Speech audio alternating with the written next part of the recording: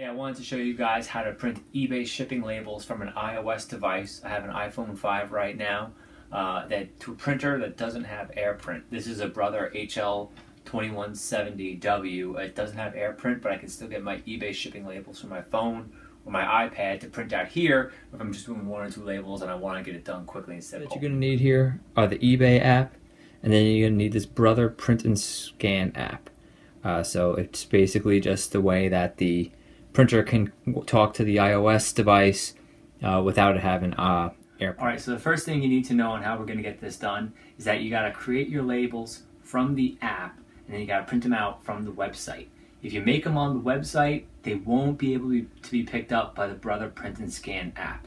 They have to generate as a PDF, and the website won't generate the shipping labels as PDF, only the app will. So what we're going to do is we're going to go into the app, we're going to create the shipping labels, and then we're going to go back to the website to a specific site managing your labels and we're going to go to reprint label there. All right, so here's pretty much your options when you go into the eBay app.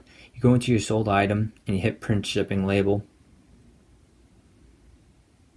It's going to load up the details. Uh, so just make sure everything is still correct. You know, when I did this listing, I was going to, thought it was going to be a little lighter, so I just got to up this to about 2 pounds and 14 ounces. I changed the box size to 6 inches there. Uh, done.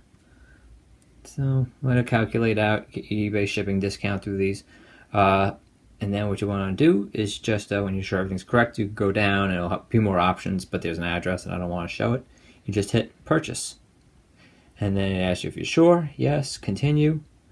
And then it's going to generate PDF. That's the important part. Just going to cover this up so we don't get any uh, addresses showing in the video. Uh, all right, so here's my label. Uh, it's pretty standard stuff. Uh, it just looks like that. Now you won't be able to print it from here. Uh, what you're gonna have to do is just hit cancel and cancel. All right, so here's the next step we're gonna do. Now I'm on ebay.com. Uh, I'm using Safari to go to the website. You're gonna wanna go to this option right here that says shipping labels. It's under sold, you have to be logged in. So again, you're out of the app at this point. So this will come up with a giant tiny menu of all my different um, shipments. I'll blow up all the way to here and just hit reprint right there. And it takes you to a new page. Uh, it's going to say a whole bunch of stuff here. Usually I do this on my iPad, by the way. Usually this is a lot bigger because I'm using my iPad to shoot the video. I got to do it on my phone. Uh, and you're going to want to hit reprint, reprint postage label. Boom. And that's going to bring it up here. It looks similar to how we saw it in the app, but uh, it's completely different because on this page, you can tap on it and let's see this top left, it says open in. Hit that. Then you hit this brother print and scan. Now it brings it up here. All you gotta do is hit print. You see the lights flicker in your house. And right on down here.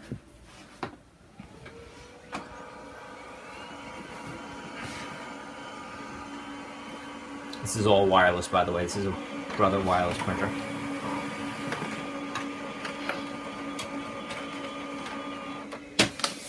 You have your shipping label. That's it. Easy as that. So don't go buying another printer just because you don't have AirPrint on it and you want to use your iPhone or your iPad to print out your eBay shipping labels. Thanks for watching.